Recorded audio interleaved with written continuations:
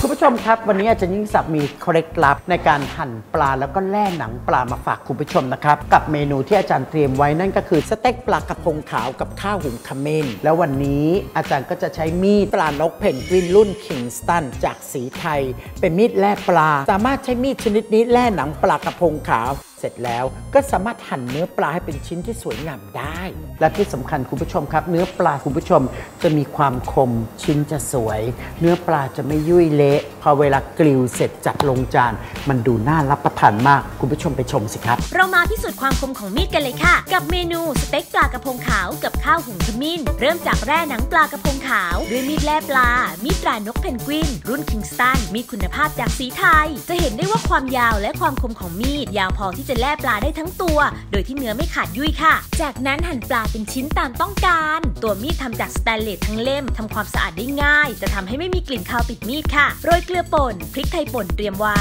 เทน้ำมันมะกอกในภาชนะนำเนื้อปลากระพงลงจี่จนสุกทั้งสองด้าน เตรียมไว้ค่ะ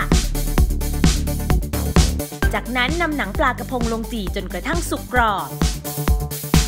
เพียงแค่นี้ก็พร้อมรับประทานค่ะ กับเมนูสเต็กปลากระพงขาวกับข้าวหุงขมิ้น หอมน่ารับประทานมากๆเลยใช่ไหมล่ะคะ อร่อยแบบมีระดับด้วยมีดปลานกเพนกวิน มีดคู่ครัวระดับเชฟมืออาชีพจากสีไทย